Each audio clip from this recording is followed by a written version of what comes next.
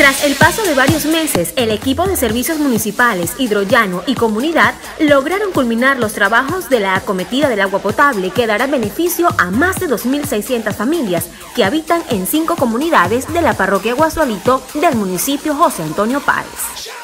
El alcalde eh, hizo una reunión aquí en la comunidad y nos reunimos todos junto con las demás comunidades para tratar de traer el agua directamente allá a la Torretón. Y, y de verdad que estamos la mayoría estamos contentos por, esta agua. Bueno, de verdad me siento muy agradecida, muy contenta de que 15 años después haya llegado el agua a nuestra comunidad.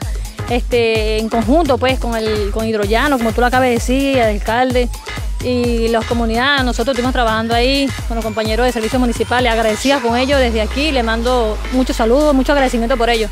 Creo que fue parte de la lucha de un, de un gran equipo, ¿no?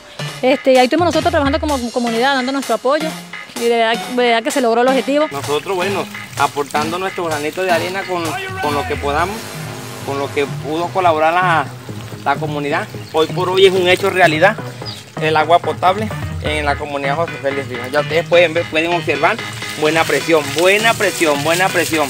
Nosotros desde aquí allá al tanque que tenemos de la casa contamos con más de 20 metros y la presión es, bueno, fíjate, si yo le presiono el dedo aquí, es una presión fuerte.